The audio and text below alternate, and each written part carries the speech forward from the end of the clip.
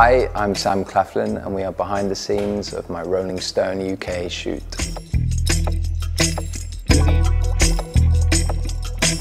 I have to say, I think one of the biggest influences of my life uh, have always been more monster uh, villains. You know, we have Jaws, Shark, the ultimate villain, I think. And then I remember Jeepers Creepers. I don't know if anyone's ever seen that movie, but for some reason the, the, the kind of monster thing in that was terrifying. The un, unwritten paranormal villain of Paranormal Activity was pretty horrendous. Blair Witch, which you never see. Yeah, I, I kind of, I was always obsessed by like more the monster-esque villains of uh, film and TV.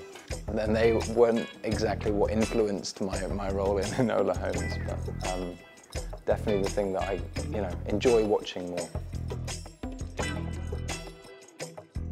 Playing a, a, lead singer of a band, in, or a fictional band, in Daisy Jones and the Six definitely came with its obstacles. I, I'd never been that musical, I'd never played any instruments, I'd never really sung, I'd never recorded anything, put it that way. So it, it, it was, you know, I think I went into my audition thinking that Elton John's Your Song was, you know, the pinnacle of 70s rock. So I had, a, I had a lot to learn. you know, I, I, in fact, I think during my audition, the music producer Tony sort of started playing Come Together by the Beatles, but I thought it was written and sung and originally sung by Michael Jackson. So my knowledge of 70s rock and roll was uh, very lackluster. So there, there was quite a, a, journey for me to go on, which, you know, I think when you watch it back, I, you know, I, I, for one am quite proud of the amount of work that I put in and that came out of it. Uh, uh, but yeah, I, I, I, still wouldn't say I'm a musician that way. Billy Dunne from Daisy Jones and the Six. I think just through my personal experiences, there were so many kind of um, connections and similarities between myself and the character just through decisions he's made or, or obstacles he's had to overcome minus the addiction side of things. But yeah, there, there, was a lot of personal kind of relationships in the way that he, he sort of struggles with his art and his family life and all of, all of those sorts of elements of him. Uh, I, I definitely felt I could play authentically because I'd been there, I'd, I'd lived in those shoes in some, some way.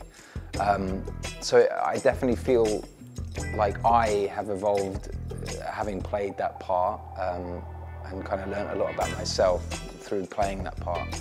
Um, on the flip side of that, a part that was so far from, so far removed from who I am was a, a character called Hawkins in a film called The Nightingale, which was just, you know, he's, he's just the ultimate villain, very, very nasty piece of work. And I think emotionally, mentally, that affected me the most. Uh, and that's the thing that sort of stuck with me the most, I think, for all the wrong reasons.